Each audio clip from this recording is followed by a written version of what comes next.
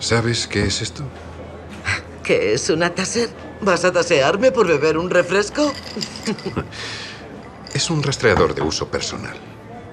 Muy bien. Instalo estos aparatos en mi flota de vehículos, incluida la furgoneta de mi hijo Andy.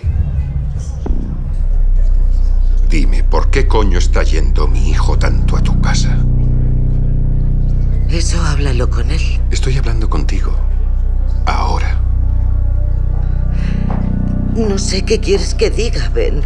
¿Sería posible no hacer esto aquí? Solo te hago esta advertencia, Swan.